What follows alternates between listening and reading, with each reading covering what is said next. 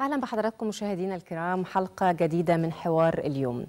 بعد أن تخلصت مصر من كابوس جماعة إرهابية في 30 من يونيو في 2013 وتولى زمام الأمور رئيس وطني منتخب بإرادة شعبية وبإجماع منقطع النظير تنفس العرب السعداء وقدم الأشقاء العرب الشعوب قبل الحكومات دعما كبيرا لمصر لتتصدى لكل محاولات إجهاض الثورة واستبشروا خيرا للأمة بأسرها بهذه العودة.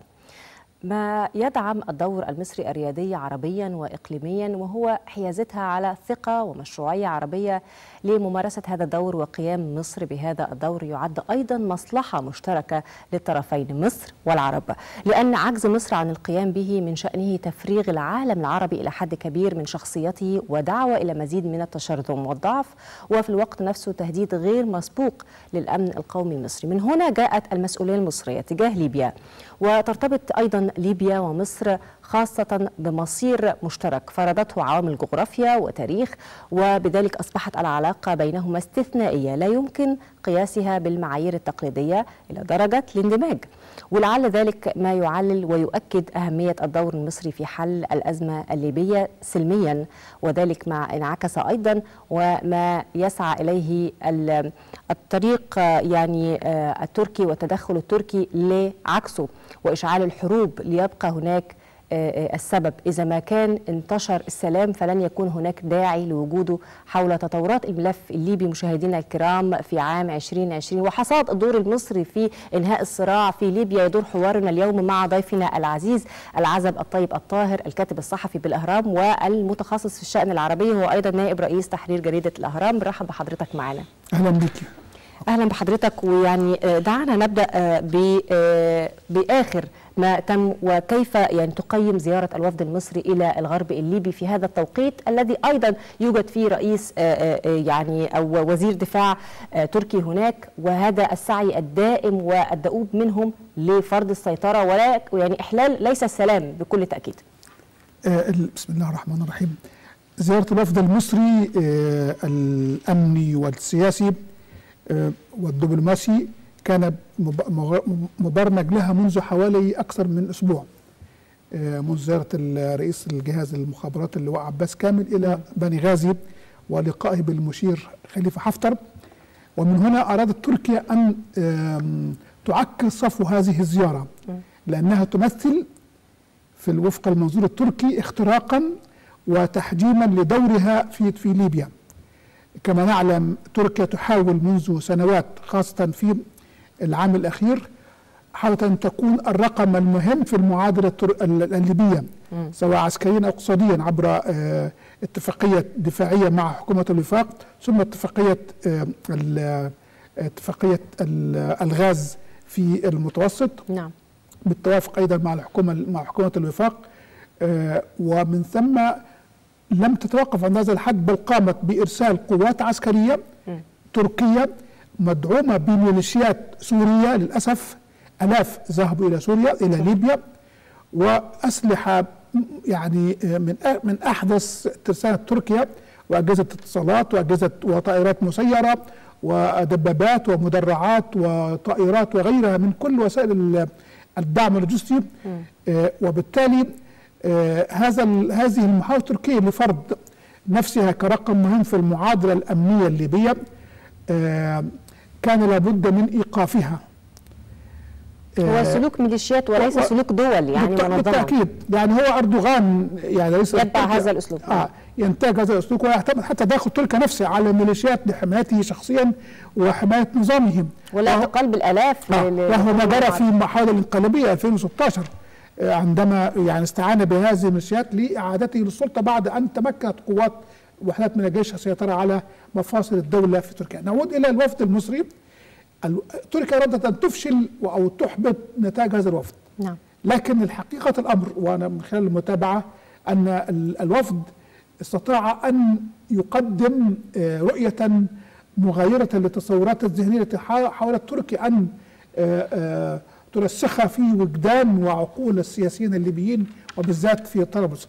الوفد المصري كان وفد كما ذكرت يتكون من جانب أمني وجانب دبلوماسي يتميز بالحرفية العالية التقى بوزير الداخلية بنائب رئيس المجلس الرئاسي آه، ثم التقى بعناصر أخرى منهم رئيس جهاز المخابرات ال- التابع للوفاق وتم التوافق في هذه ال- ال- الجلسة على أو هذه المباحثات على اولا آه، تفعيل الدور المصري في الغرب بالذات ثم الاتفاق على أن تقوم مصر بإعادة افتتاح سفارتها في آه، في طرابلس والوفد المصري وعد بافتتاح السفارة عندما تتهيأ الأمور امنيا. صحيح. لأن ما زالت طرابلس يعني تعيش حالة حالة ميليشيويه ان صح التعبير. ثم التوافق على الاستمرار في دفع مخرجات آه، نت- ونتائج اللجنة العسكرية التي تع- تعرف باسم خمسة زائد خمسة التي نجحت في التواصل اتفاق اتفاق النار ثم تبادل الاسرى بين الجبهتين كان آخرها آه، لمرتين كان آخرها بالأمس ثم آه، آه، الاستمرار أيضا في نهج الحوار السياسي وهذه أهداف الحركة المصرية. لكن للأسف وزير الدفاع التركي جاء إلى إلى إلى إلى إلى, إلى طرابلس ليهدد هناك بشكل فج ويفتقر إلى الدبلوماسية واللباقة حتى لباقة كما هو معتاد، آه نعم، لباقة القيادات. العسكرية. قام بتهديد الجيش الوطني. هو يزعم أنه يرد على ما صرح به ال- ال- المشير حفتر أنه سوف يعني يتم مواجهة الاحتلال التركي. المشير حفتر هو قائد جيش وطني. صحيح. وعندما يقول ذلك هو يعلن من منطلق وطني. نعم. وأن تركيا تمثل بالفعل احتلالا لغرب ليبيا ومصالحها واضحة يعني، نعم. وبالتالي الجيش الجيش الوطني الليبي يعلن موقفا يتسق مع المبادئ الوطني مبادئ الد- مبادئ الليبية نعم. ثم يتسق مع الموقف العربي العام ولكن تركيا لا نعم. تريد ذلك ترغب في أن تستمر وتهددت الجيش التركي لشن حرب عليه وأيضا على دول على الدول التي تدعم جيش حفتر وفق منظوره ومن ومن أهم الدول هي مصر. نعم. ومن ثم هو يحاول الآن رغم محاولاته السابقة الغزل بالجيش المصري بعد التهديد المصري في, آه، نعم. سيرة الجفرة خط أحمر بكل تأكيد. وسنتحدث أيضا عن ما هو الوضع الآن بعد يعني وضوح النوايا من تركيا. هي ليس لديها هي دولة حبيسة ليس لديها الغاز. فاذا كيف ستستطيع آه، آه، تحقيق ذلك من خلال ليبيا؟ سنشاهد أيضا العديد من المعطيات ولكن اسمح لنا وضيوفنا الكرام نشاهد هذا التقرير. يعني آه، حصاد العلاقات المصرية الليبية في 2020 وما تم خلال هذا العام. نسرده في هذا التقرير ونعود لاستكمال آه، حلقتنا مع ضيفنا الكريم.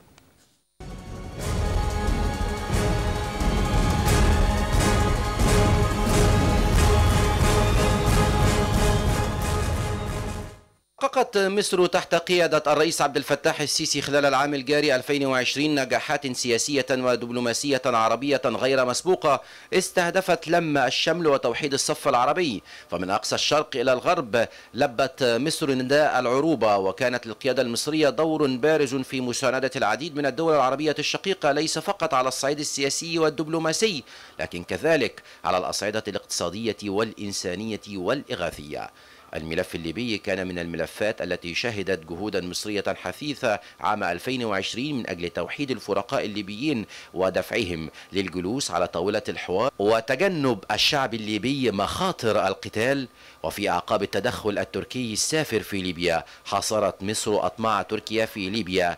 بمبادرة إعلان القاهرة التي لاقت تأييدا دوليا وإقليميا وعربيا واسعا لما تسعى إليه من التأكيد على وحدة الأراضي الليبية واستقلالها بالإضافة إلى إعلان وقف إطلاق النار وهي المبادرة التي حرص مشايخ وأعيان القبائل الليبية على تأييدها في زيارة رسمية لهم للقاهرة وتفويض الرئيس عبد الفتاح السيسي للتدخل في الأزمة بشكل مباشر وهو ما قبلته مصر بالتشديد على أن القاهرة لن ترضى إلا بالاستقرار للشعب الليبي سياسيا واجتماعيا بما يضمن دحر المحتل التركي والحفاظ على الأمن القومي المشترك لتبقى مقولة سيرت الجفرة خط أحمر أروع كلمات 2020 لأنها مقولة زعيم إذا قال فعل.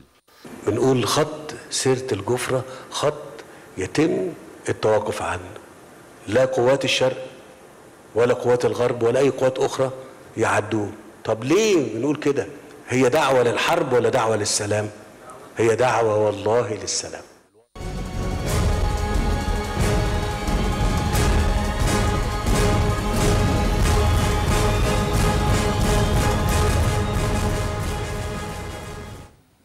أجدد الترحيب بحضراتكم مشاهدينا الكرام وبضيفي الكريم العزب الطيب الطاهر نائب رئيس تحرير جريدة الأهرام. ويمكن عايزين نذكر السادة المشاهدين يعني حتى لما جاءت القبائل الليبية في هنا مصر تأتي يعني تطلب الدعم والوقوف مصر معها وكان نوع من التأييد العلني لتدخل مصر لإنهاء هذا التدخلات الخارجية وإنهاء هذا الصراعات التي تحدث في ليبيا. فقط أكد أيضا الرئيس السيسي أن هذا التواجد سيكون فقط من أجل إحلال السلام وسيحرص على خروج أيضا. إذا ما تم يعني حدوث تدخل عسكري سيحرص أيضا على الخروج من هناك لأن هو ما يرغبه في ليبيا هو السلام. وإذا كانت لنا مطامع كمصر من قبل كانت قد يعني كان لدينا العديد من يعني المزاعم اللي كنا ممكن نؤديها ونقدمها للدخول إلى الشأن الليبي. ولكن ليس ابدا من هدف مصر التدخل في شؤون لدولة شقيقة مثل ليبيا.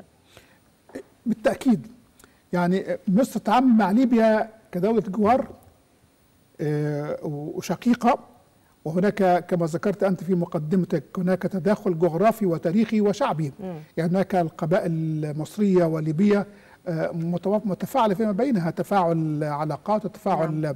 يعني صح التعبير عرقي صح. في في مطروح وفي السلوم وغيرها مع الطرف الآخر و أصبح هناك أسر مشتركة يعني. لكن تتذكري أن القذافي كان يفخر بأن أجداده من الفيوم. م. يعني وأنا عندما زرت ليبيا زرتها كنت جالسا في أحد في في طرابلس. ثم فوجئت أحدهم يقول لي بالتعبير الذي أنا أفهمه في الصعيد أنا من الأقصر.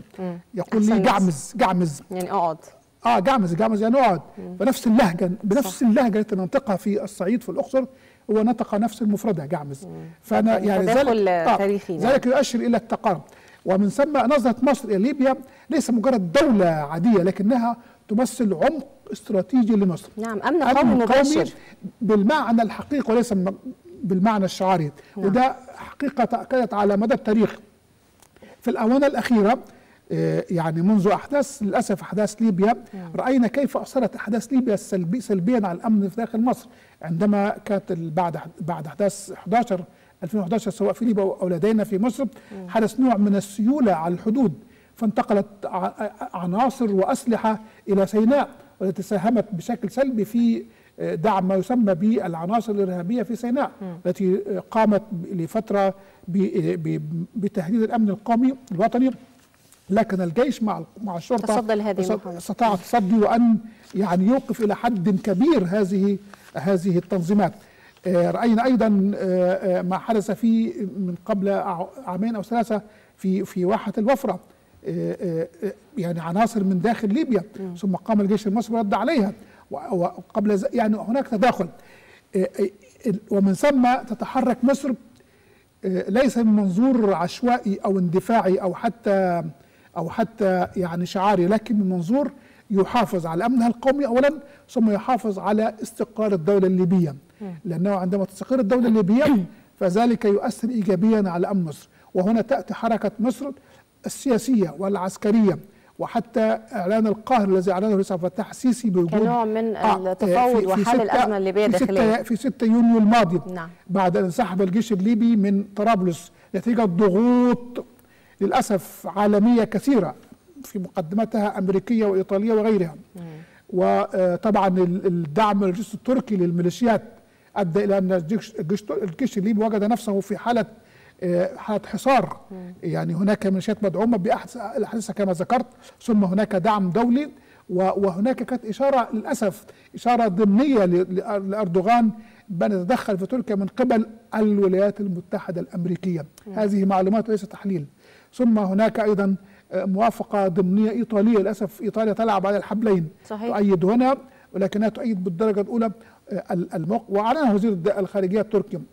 الإيطالي أنه يؤيد التدخل التركي لأنهم في نظرهم حقق نوع من التوازن. إيطاليا حاولت في البدء يعني الاحتفاظ بالسكون وعدم التدخل وعدم إصدار أي تصريحات حتى جاءت مصلحتها لا مصالحها مرتبطه لأن مصالحها إيطاليا لها مصالح في, في الغرب ليبيا مصالح الغاز والنفط وغيرها. شركات إيطالية تعمل. للاسف وهناك حضور عسكري إيطالي في في مصراتة وفي غيرها من الغرب الليبي. نعم. وهناك توافق كبير بين الجانبين حكومة الوفاق وبين إيطاليا. موقف إيطاليا في بعض الريبة يعني. آه لكن المشكلة أن مصر استطاعت آه بمواقف حازمة بالذات بعد اولا إعلان القاهرة كان هو المدخل لبلورة الرؤية السياسية للتعامل مع الازمه الليبيه نعم. بناء على مخرجات مؤتمر برلين الذي عقد في يناير الماضي ب- ب- باجتماع قادة ورؤساء دول عديدة. نعم. وأكدوا على الحل السياسي وتم تشكيل ثلاث لجان أو ثلاث مستويات للحل آه، لج- لجنة عسكرية اللي هي خمسة خمسة لجنة اقتصادية لجنة سياسية. واجتمعت هذه اللجان على أكثر من مرة. ولكن آه، ليبيا تركيا تمادت في مواقفها. ورأينا كيف قامت الميليشيات المعدوة من تركيا وتركيا نفسها لتهدد منطقة سرت الجفر التي وقف عندها الجيش الليبي. وكان هنا الموقف المصري الحاسم. هذه خط هذه هذا الخط خط أحمر وذلك يؤشر بوضوح إلى أنه لأول مرة في التاريخ دولة تستطيع أن تحقق انتصارا سياسيا عسكريا دون أن تستخدم دبابة أو طائرة أو مدفع وغير ذلك. لكنها اعلنت موقفا مبدئيا واستراتيجيا نعم. لأن تركيا بعد هذا. التصريح بالذات صحيح. وبعدها بيوم يومين آه، حاولت ميليشيات يعني من طرابلس ان أن تمارس اللعب لكنها ضربت فورا. ودمرت. ثم دمرت تم توجيه ضربة لقاعده ال- الوطه العسكرية سيطرت عليها تركيا والميليشيات. تم توجيه ضربة واضحة المعاد وتدمير منظومة آه، الدفاع الجوي. فهمت آه، الرؤية و- الرساله كانت واضحة رساله تحذير ثم أعمال ع- ميدانية في اليوم التالي أو خلال الأسبوع التالي بعد التحذير. هنا أدركت وف... تلقت انقره الرسالة كما تلقت الميليشيات الرسالة وحافظت على وضعها العسكري في في في يعني يعني في في المناطق التي آه، تقترب من سيرت والجفر لكنها لا تتعداها لأنها أدركت أن هناك إرادة سياسية وإرادة عسكرية مصرية مدعومة من الجيش الوطني ومدعومة من القبائل الليبية التي جاءت إلى مصر في آه، يوليو الماضي وأعلنت دعمها للمبادره ل- للتدخل المصري. أيضا البرلمان المنتخب في في في في شرق ليبيا أعلن دعمه وتفويضه للجيش المصري بالتدخل. فضلا عن عن الشعب الليبي يعني الاغلبيه الشعب الليبي آه، رأت في التدخل المصري هو هو هو ال- الإطار الوحيد لحماية أمن واستقرار ليبيا. إذا تحدثنا عن أن الرسالة وصلت إلى الجانب التركي في ليبيا وأنهم فقط يستطيعون تنفيذ شعارات ليس أكثر. آه، على أي شيء يراهن و آه، يعني يستند الآن أردوغان في ليبيا على تنفيذ مخططاته الاستعمارية في ليبيا وطبعا الاستناد إلى آه، بعض المزاعم التي أصبحت معلنة للجميع والعالم أجمع أنها ليست بحقيقية. هو أصبحت الآن المصالح واضحة وهو يرغب في الغاز ويرغب في استمداد كما يقول أنها كانت آه، ليبيا يعني آه، موروثة من أجداده في هذه يعني العبارة السخيفة ولكن ذكرها يعني لا لم يستحي. إذا الآن الجانب المصري مؤمن تماما آه، في أي فكرة تدخل العسكري من جانبه أو حتى بدعم منه للميليشيات المسلحة في ليبيا آه، ستكون الأمر محسوم بالهزيمة على ماذا آه، يعول الآن أردوغان؟ يعني للأسف أردوغان يقرأ ال- أو يقوم بتقديرات موقف آه، تقديرات موقف خاطئة إلى حد كبير وحسابات خاطئة هو الآن يعني لو لاحظنا تصعيده الأخير عسكريا من خلال زياده وزير الدفاع آه، خلوصي آه، اكار لطرابلس وتهديده الواضح للجيش الوطني الليبي ثم لمن يدعمه. هو في نظري من يدعمه هو مصر وبعض الدول العربية الأخرى. آه، ده أعاد نقطة الصفر عسكريا. رغم أن هناك اتفاق وقف إطلاق النار الجانبان اتفق عليه عبر عبر آلية ال- اللجنة العسكرية خمسة زائد خمسة. بل وكما ذكرت هناك خطوات عملية اتخذت لإعادة لاستعادة الثقة عبر تبادل الأسرى بين الجانبين. آه، لكن أردوغان يريد أن يعيد المربع يعيد ال- ال- ال- التو- ال- التوتر العسكري إلى مربع رقم واحد. يراهن في ذلك على جانبين. الجانب الأول في ظنه وتلك هي متصلة بمسألة التقديرات الخاطئة والحسابات الخاطئة أن الإدارة الأمريكية القادمة برئاسة جو بايدن ستكون إلى جانبه بوضوح. صحيح ترامب كان إلى جانبه لكن بشكل موارب. مرة ي- ينتقده مرة وم- ومن تحت المائدة يدعمهم لكن هو يعتقد أن بايدن سيكون مؤيدا له بوضوح خاصة في ظل ما يتردد من أن بايدن سيكون أو سيعيد أو سيعيد إنتاج منظور إدارة أوباما في دعمها لما يسمى بجماعات المسلحة الإسلام وجماعات ال- السياسي. آه،. ولكن ذلك أنا في تقديري قراءة خاطئة. بايدن آه، استوعب آه، آه، يستوعب تماما وأنا من خلال متابعة تصريحاته أن ما كان يحدث أيام أوباما من تصورات وربما من خطوات آه، ثبت معظمها فشلها وبالتالي هو لن يعيد إنتاجها. هو الآن سيعيد أو سيرسم خطوات تصورات جديدة ورؤية جديدة للتعامل مع الأزمات في المنطقة تقوم على المبادئ العامة هي الحل السياسي وليس الحل العسكري. اذا هو يعتقد لذلك لاحظي أن بالأمس آه، آه، السفير الأمريكي التقى ب- بقيادات في المجلس الرئاسي ال- ال- ال- ال- والسفير الأمريكي بالأمس. يعني قبل إدارة بايدن ب- ب- ب- تع- أن ان ان ان تقوم بتولي السلطة قبلها بأيام قام ليؤكد موقف الإدارة الأمريكية الرافض لأي توتر عسكري. والإشارة واضحة لتركيا. و- و- و- واعلن تمسكها باتفاق وقف اطلاق النار ودعمه. ومن ثم هذه المراهنة التركية أو الصح الاردوغانيه على أن أداة بايدن سوف تقف إلى جانبه هي مراهنة خاطئة ولن تو- لن تكون آه، داعمة له في أي موقف طيب. عسكري يتخذه أستاذ عزب يعني هناك رأي آخر دعني أطرحه لحضرتك يعني هذه الرؤية التي طرحتها واضحة تماما لكن هناك رأي آخر يقول بأن أمريكا هي من يدعم آه هذه ال- الميليشيات وهذا التدخل التركي في آه ليبيا بزعم أنها رفضت يعني أو أن تركيا رفضت من الاتحاد الأوروبي لتكون جزءا منه ولكن وعدت بأن تستكمل آه الدولة ال- ال- العثمانية القديمة وال- وال- والاستعمار لديها في الدول العربية وتدعمها بذلك. ما رأيك في هذا الرأي؟ يعني هو هو أردوغان يروج لذلك ويحاول أن يقدم بالفعل على على محاولات لاستعادة ما يسمى بالحلم العثماني لديه والعثماني حتى ن- يعني هو نفسه يعيش في في في أنقرة في قصر أشبه بقصور السلاطين والحرس الخاص به يرتدي نازيا أشبه بالزي الذي كان يرت- يرتديه حرس حر- حرس السلاطين. ومن ثم هو يعيش يعيش في هذا الشكل في, يعني. في, في أوهام. لكن هل الواقع معهم؟ يعني هل تسمح الآن أمريكا تحت أي إدارة سواء آه، يعني جمهورية أو ديمقراطية نعم. أن يقوم أردوغان بسيطرة على أو باستعاده السيطره على آه، الولايات العثمانية القديمة؟ يعني آه، بما فيها ليبيا وبما فيها مصر وبما فيها حتى شرق أوروبا وبعض غرب أوروبا. كانت فيينا تابعة لتركيا يوما ما. وأيضا آه، البوسنة وكل مناطق البلقان كانت كلها تابعة تركيا هل هل يمكن يسمح ذلك لأن تستطيع تركيا؟ آه، آه، يعني أحلامها القديمة في هذه المناطق؟ لا- جميل جدا. لا- جميل جدا. يعني أجبتني على هذا السؤال. طيب لما نعود من جديد لفكرة يعني القضية الأهم والامن القومي المصري والعلاقات والدور المصري مع ليبيا للحفاظ على أمنها. مصر دائما ما آه، تحرص على وجود آه، وأيضا آه، تقوية الجيش ال- الليبي آه، الوطني الليبي. يعني وجود ليس فقط آه، مسمى ولكن أيضا وجود جيش وطني ليبي وقوي وفاعل. آه، لأن ذلك سيخفف أيضا من مهمة التأمين التي تقوم بها مصر وحدها لتأمين حدودها. فيعني عايزين نتكلم على هذه الجزئية. اولا مصر من البداية كانت داعمة للجيش الوطني المصري ال- الليبي. داعمة بال يعني بوضوح يعني معروف بالتسليح منذ فترة طويلة، صحيح. التدريب وبالخبرات وبالمعلومات نعم. لذلك هذا الجيش يعني أصبح قويا وأصبح رقما الرقم الأهم في المعادلة الليبية لكن في نفس الوقت هي آه، تسعى وسعت بالفعل إلى توحيد المؤسسة العسكرية الليبية بحيث تجمع قوات الجيش في الغرب مع قوات الجيش في الشرق واستضافت مباحثات في مصر خلال يعني منذ عامين في القاهرة وحاولت تقريب بين بين رؤية الجانبين لكن الأمور في الفترة الماضية لم تكن مهيئة ولم تكن ناضجة للتوحيد.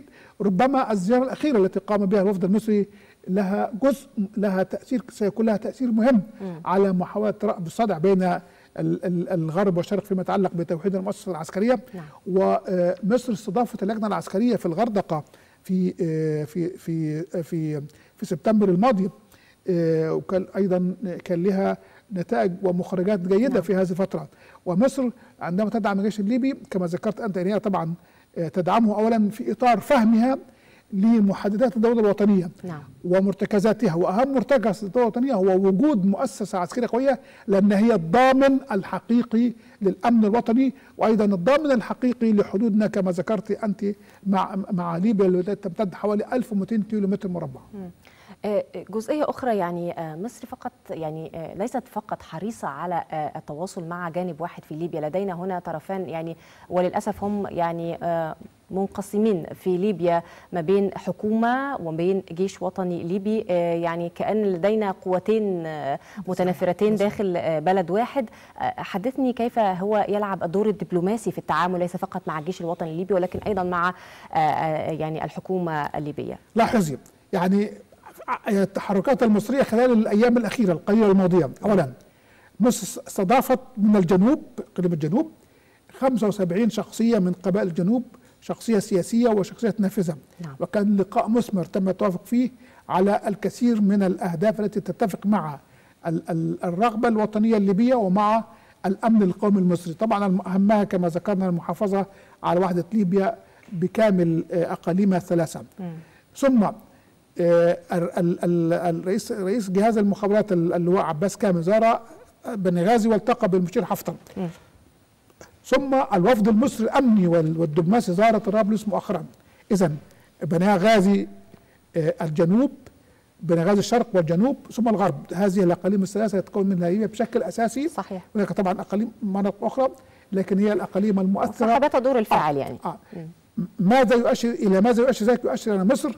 تعمل وفق ال- المنطق الذي يحكمها منذ سنوات وهو أنها على مسافة واحدة من كل الأطراف ولكن عندما نعم. ترى طرفا خرج عن السياق الوطني بالتأكيد كما حدث مع حكومة الوفاق آه. يعني خلال العام الفائت عندما تحالفت مع تركيا صحيح. وهي دولة آه، جاءت لتهدد الامن القومي ليس ليبيا فقط ولكن لمصر وللأمن القومي العربي عندما كان هناك تهافت من قبل حكومة الوفاق تجاه تركيا يعني قامت مصر بمحاولة يعني ال- ال- التأثير عليها. لكن الآن الأمور أصبحت يعني مصر استقبلت قبل فترة فايز السراج نعم. ثم وزير الداخلية آه، آه، وزير داخلية حكومة الوفاق هنا جاء إلى مصر يعني بعد بعد يعني خلال الشهرين الماضيين.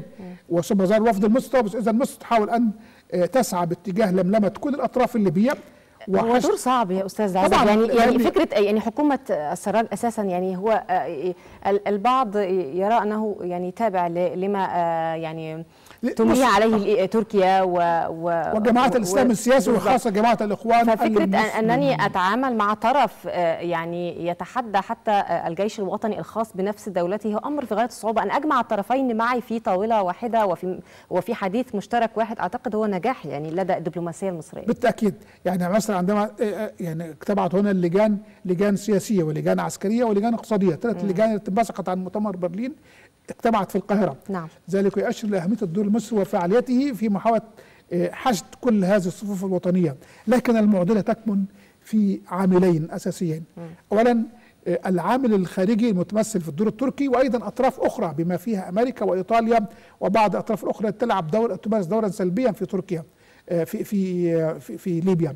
ثم وجود المرتزقة التي أرسلتهم ليبيا بالألاف إلى إلى طرابلس الغرب.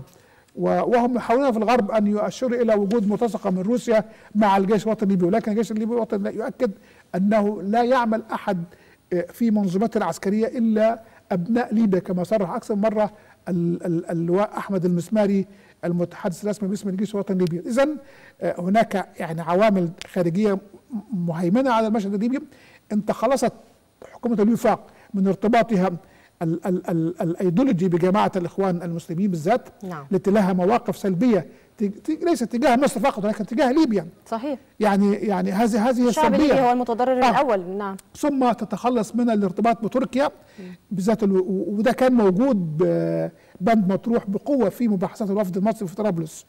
آه، وإن كانت لم تتضح الأمور فيما يتعلق ما هي مخرجاته في المباحثات لم يحدث ذلك ولاحظ أن وزير الخارجيه سامح شكري اتصل بوزير الخارجيه الليبي وزير خارجية حكومة الوفاق آه، اسمه السيالة وتم التوافق على مجموعة من المحددات التي يمكن أن تسهم في حل حالة الأوضاع سياسيا ثم آه، آه، وضع ليبيا في داخل سكة ال- الوطنية نعم. وليس الارتباط بالقوى الخارجية هناك بعض الجهات لن أقول منظمات ولكن ربما دول آه، تساعد وتحارب هذا الدور المصري الرائد في آه، يعني آه، إصلاح ويعني دعم الشأن الليبي الداخلي وإبقاء سلامته. خلينا نتكلم عن دور قطر. كان هناك بعض الاتفاقيات التي تمت ما بين حكومة السراج وقطر وطبعا يعني بإملاء أيضا من تركيا. خلينا نتكلم عن هذا الدور بعد إذنك. يعني لاحظي للأسف قطر رغم الحديث عن المصالحة في هذه الفترة المصالحة الخليجية مع اقتراب عقد القمة الخليجية ال 41 في 5 يناير المقبل في الرياض. لكن للأسف حتى هذه اللحظة الإعلام القطري والخطاب السياسي القطري لم يتخلص من من مرتكزاته المعادية للدور المصري والداعمة لجماعة الإخوان المسلمين. والمناوئة لكل التحركات المصرية التي تحاول أن تحاول أن تدفع بليبيا إلى سكة الاستقرار والوحدة والاستقلال وامتلاك السيادة الوطنية. هذا هو على مستوى الخطاب السياسي والإعلامي. عندما تلاحظي قناة الجزيرة وغيرها من القنوات التابعة للإخوان تجد هذا الخطاب ما زال يعني قويا وواضحا وسافرا وكأنه لا توجد محاولة المصالحة في الرياض في المرحلة المقبلة. هذا جانب. الجانب الآخر أن قطر لديها طموح منذ منذ التغيير الذي قاده الشيخ حمد بن خليفة ضد ودي في 1935 لأن تكون قوة إقليمية. ويبدو أنها نصحت أنها تكون قوة إقليمية لابد أن تحارب أو أو نقول تشاكس بمعنى أو تتنمر بالمعنى الأدق ضد الدول الكبرى في الإقليم وأهمها مصر والسعودية. وهو ما بالفعل ما يعني ما جرى خلال السنوات المنصرمة أن قطر تمارس سياسات نعم. مناهضة تماما للدور المصري والدور السعودي. ليس في ليبيا فقط ولكن في مختلف في مختلف مفردات منظومة نعم. الأمن الامن القومي العربي. وتتذمر اذا من وجود بعض يعني المواقف العربية المشتركة ضد ما تقوم به. اذا تحدثنا عن الجانب السياسي. دعنا ومشاهدينا الكرام أيضا نستمع إلى الجانب الدبلوماسي للدور المصري. يسعدنا أن يكون معنا وينضم إلينا هاتفيا سعادة السفير حسين هريدي مساعد وزير الخارجية الأسبق. أهلا بحضرتك معنا سعادة السفير. أهلا يعني نتحدث عن الدور الدبلوماسي الذي تلعبه يعني الخارجية المصرية أيضا مع الدولة الشقيقة والتي بكل تأكيد يجمعنا أمن قومي مباشر ومشترك. بدون شك حضرتك يعني خلال الأيام القليلة الماضية العلاقات المصرية الليبية شهدت تطورات إيجابية تمثلت في زيارة وفد رسمي في يمثل يمثل في وزارة الخارجية والمخابرات العامة والوفد عقد لقاءات مع كبار بعض كبار المسؤولين في حكومة الوفاق الوطني.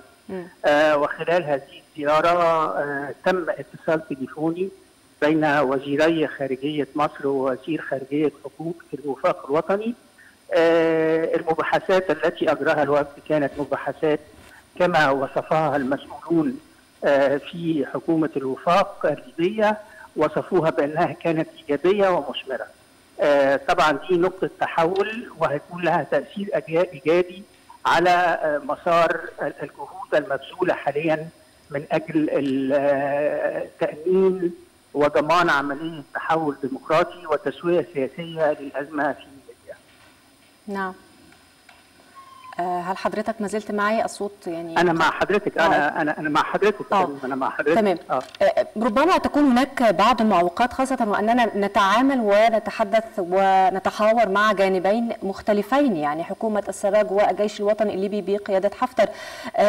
كيف تكون هي النقاط التي نضمن من خلالها نجاح مثل تلك المحاولات الدبلوماسية الهادفة بكل تأكيد إلى إصحاح وتمكين الشعب الليبي؟ وطبعا إعادة السلام إليه الجهود الدبلوماسية المصرية بتأتي في إطار مخرجات قمة برلين في يناير الماضي م.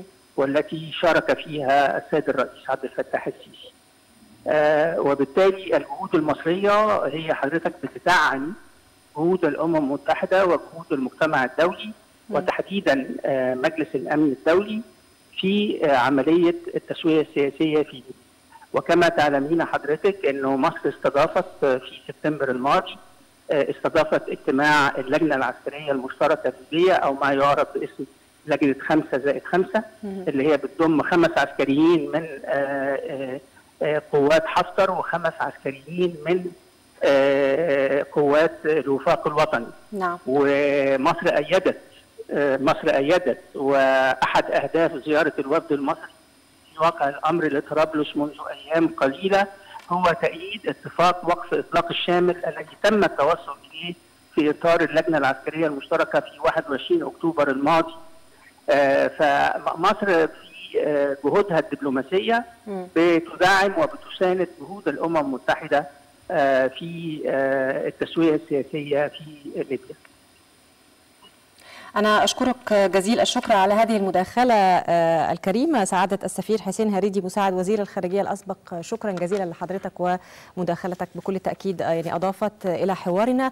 وأعود من جديد لضيفي الكريم الأستاذ العزب الطيب الطاهر و يعني نتحدث عن هذه الجهود المختلفة خارجيا ويعني سواء كان من دول عربية مثل مصر شقيقة للجانب الليبي أو حتى من دول أخرى قد تعلن أنها تهدف إلى مصلحة ليبيا ولكن داخليا ماذا على الشعب الليبي من دور في هذه المرحلة في التكاتف وفي أيضا يعني إبعاد وانهاء الصراعات الداخلية التي بكل تأكيد يعني أوضحت لنا على مدار السنوات الأخيرة يعني منذ الحادي 2011 أنها لم تأتي بأي خير إلى البلاد. بالتأكيد الشعب الليبي طبعا يعني هو مجموعة من القبائل ومجموعة من منظمات المجتمع المدني وشباب وله تطلعات مثل مثل أي شعب ولاحظنا أنه هو الذي قاد التغيير في 2011 لإسقاط نظام القذافي وبالتالي الشعب الليبي مدرك لخطورة لخطورة المرحلة وأهمية إعادة ليبيا إلى إلى إلى وضعها الطبيعي كدولة والعودة إلى مجددا إلى التنمية الدولة الليبية دولة من أسرى الدول العربية لديها نعم. احتياطات نفط يعني كبيرة جدا وأيضا غاز هو ما جعلها مطمع آه لكل آه الدول يعني في آه. منطقة النفط تعد من من يعني من أهم مناطق النفط والغاز في العالم العربي ومن ثم يحاول أردوغان يعني الاقتراب الاقتراب منها وهي السوق المباشر أساسا لأوروبا في انتقال الغاز وصراع أوروبا بالتحديد صحيح. إيطاليا وفرنسا مم. هو صراع على النفط والغاز في هذه المنطقة الذي هو يعني, يعني ليس مثلنا يعني آه هذا الغاز لإدارة ربما مصانع أو غير لكن هم لديهم للحياة, للحياة. للتدفئة آه. للعمل آه. والحركة ولكن آه. يعني أنا أوكي هذه الدول تحقق مصالحها مم. ولكن يعني تحاول أن تدفع باتجاه تحقيق الاستقرار. لا أن تضع مصالحها بمعنى أن تقوم بتأييد طرف ضد طرف آخر لتحقق مصالحها. قومي بمحاولة التقريب بين كل الفرقاء بين كل ألو... الأطراف ثم تحقق تتحقق مصالح. عندما تكون دولة ليبيا مستقرة فيها نفط وفيها غاز سيصدر للعالم. هو هل هذه الرؤية 6 6 مليون رغم المساحة الكبيرة أكثر من 2.5 مليون كيلومتر مربع لكن شعب صغير 6 مليون وبالتالي يحتاج لكل هذه الكميات هذه الكميات تصدر للخارج صح أستاذ عزب حضرتك طرحت نقطة مهمة يعني. أود أن أسأل فيها هل هذه الفكرة وهذه الرؤية مش واضحة للدول الغربية في أن كثرة التدخلات الخارجية في ليبيا لن تحقق لهم أي مصالح في النهاية؟ للأسف للأسف يعني أنا يعني أنا يعني وصلت إلى قناعة أن الفكر السياسي الغربي م. رغم كل التقدم الذي يعني رأيناه في مؤلفاتهم وفي دراساتهم وفي أبحاثهم وفي مراكز هناك بعض ضيق الأفق فيما يتعلق بالتعامل بالذات مع المنطقة العربية. لاحظي يعني المبادئ التي ربما لاحظي هذا هذا هذا الخلل أنا يعني أتذكر الآن أتوقف عنده. عندما طرح الرئيس الأمريكي في في ويلسون بعد لا لا ويلسون, آه بعد الحرب نعم. العالمية بعد الحرب العالمية الثانية. مجموعة من المبادئ من ضمنها تقرير المصير. وافق على تقرير المصير لكل الدول ما عدا مصر. ذهب ساغز هناك رفضوا لأن هناك مصالح أمريكية بريطانية. لاحظي يعني يعني يعلنون أفكارا جيدة لكنها على الأرض لا تطبق. لاحظي مع إسرائيل. كل دول الغرب تتكلم عن ضروره انهاء الاحتلال لكل شغل العالم. لكنها تيسر لها كل سبل الاحتلال في النهاية. نعم. هو الذي الشعب الوحيد الذي حتى هذه اللحظة قابع تحت الاحتلال الصهيوني. ومن يدعم الكيان الصهيوني؟ أمريكا والغرب. كل الدعم يدعك من كل هذه التصريحات. تعودنا حتى ان أن أمريكا تطلق آه. هذا التصريح وبعدها لقاء مع قاد يعني آه يعني آه سياسيين في إسرائيل لدعم تحركاتها رغم أنه لو لو لو هذه الدول لديها قراءة حقيقية لمصالحها مصالحها أن تقيم علاقات مع الدول العربية وتحق وتدفعها إلى السعاده إلى إنهاء أزماتها وإقامة دولة فلسطينية. لأن عندما يكون هناك استقرار في العالم العربي الذاخر بالثروات والذاخر بالمقومات الطبيعية والذاخر بالموارد البشرية. عندما تحقق يتحقق فيه الاستقرار ستكون هذه الدول هي المستفيدة. لكنها للأسف هي تؤجج الصراعات. وتدفع باتجاه بروز آه، جماعات وميليشيات مسلحة. تنظيم القاعده في الاساس هو هو آه، يعني يعني إنتاج أمريكي. وتنظيم داعش أيضا إنتاج أمريكي. نعم. كل للأسف هذه وغربي كل هذه التنظيمات تقوم لتحقق مصالح مؤقتة ثم نراها تستمر لتؤثر بالسلب على الأوضاع الأمنية والسياسية والاستراتيجية للمنطقة العربية ككل. ومن ثم هنا المراهنة على المواطن. أنت ذكرت نقطة مهمة المواطن الليبي.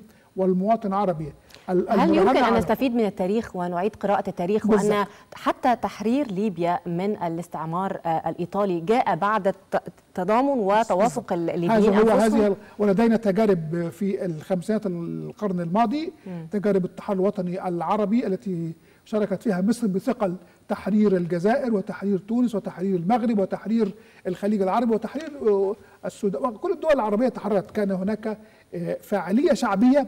هناك كان في آه، قيادة مركزية لمصر قيادة قومية قوية. والآن هذه القيادة آه، تم إعادة إنتاجها في مصر متمثلة في القيادة السياسية الحالية التي لديها حس قومي عالي جدا. وتطرح شعار الأمن القومي العربي كأحد أهم أولويات السياسة الخارجية والاستراتيجية المصرية ورأينا أن مصر طالبت في 2015 في نعم. قمة شرم الشيخ الرئيس السيسي طالب هو اقترح إنشاء قوة عربية مشتركة. لتكون ال- الذراع العربي الأمني لتصدي لأي أخطار ولكن للأسف القادة العرب بعد ما وافقوا على هذا الاقتراح وتم وتم تشكيل وتم آه، بحثه فيه عبر اجتماعين رؤساء أركان العرب في الجامعة العربية. على مدى شهرين فوجئنا عندما اقترب أوان التوقيع على الوثيقة التي أبرمها رؤساء الاركان وهي كانت وثيقة بالغة الأهمية آه، آه، عبر مجلس الوزراء الدفاع آه، والخارجية العرب. فوجئنا في نفس الليلة بعد أن حضر وزراء بالفعل القاهرة بأنه طلب تأجيل هذا الاجتماع إلى أجل مسمى ولم يحدث هذا الاجتماع، اذا مصر لديها قدرات ولديها تصورات ولديها الإرادة لكنها تحتاج إلى أن تكون هناك الأطراف العربية آه، منسجمة معها فيما يتعلق بتحقيق مفردات الأمن القومي العربي بالذات في ليبيا وفي سوريا وفي اليمن وفي وفي العراق وفي لبنان وفي غيرها من المناطق الملتهبة عربيا. ضيفي الكريم أستأذنك في إجابة آه، أخيرة لسؤالي آه، ما حققته مصر من آه، دور يعني ريادي واستعادة الدور الريادي في العلاقات العربية عامة ليس فقط مع ليبيا ماذا يمكن أن يقدم هذا الترابط العربي بين الدول بعضها البعض في الاشتراك لاهداف م- يعني واحدة آه، من أجل استعادة آه، آه، يعني الترابط بين الدول العربية الذي أصبح صعبا في هذه المرحلة للأسف يعني. يعني دعيني أشير فقط إلى ما حدث في أكتوبر 73 عندما التقطت الإرادات العسكرية بين مصر وسوريا ثم جيوش عربية أخرى الجيش العراقي والمغربي والسوري والسوداني شاركوا مصر تحقق الانتصار وعندما قامت الشيخ زايد والسعودية بإعلان برفع سلاح حظر البترول. شكل ذلك دعما للموقف العسكري السياسي. والمصري. إذا نحن في حاجة إلى أن نعيد إنتاج التضامن العربي الذي حد- حقق في أكتوبر ولو في حد الأدنى. لكن المعضلة أن النزاعات العربية التي آه، نشأت وساهمت في تأجيجها أطراف خارجية. والآن كما نرى إيران من ناحية وتركيا من ناحية وفي المقدمة إسرائيل من ناحية كل هذه الأطراف الإقليمية ثم أطراف دولية تؤجج هذه الصراعات حتى يظل الوطن العربي والنظام الإقليمي العربي في حالة ركود وخمود لكن القيادة المصرية متيقظة لذلك ومنتبهة وهي تتحرك في هذا السياق وقامت بمحاولات كثيرة لل- للملمة الشأن العربي وإقامة وإعادة علاقات مصر مع أطراف وتحالفات آه، ربما كان آخرها آه، يعني لا أقول تحالف ولكن الت- الت- التلاقي بين مصر وبين الأردن وبين العراق ثم قبل ذلك الت- التلاقي بين السعودية والإمارات ومصر. وكل ذلك يؤشر إلى أن مصر هي الدولة القادرة على أن آه، تعيد صياغة النظام الإقليمي العربي ووضع محددات للأمن القومي العربي كما حدث قبل أشهر في ليبيا.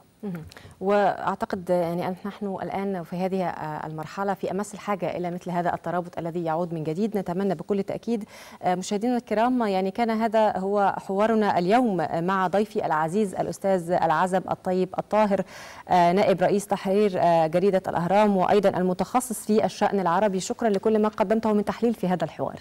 تحياتي لك والمتلقين والمشاهدين شكرا جزيلا. والشكر موصول أيضا لحضراتكم على طيب المتابعة. دائما أطيب الأمنيات بالسلامة والأمان. إلى اللقاء.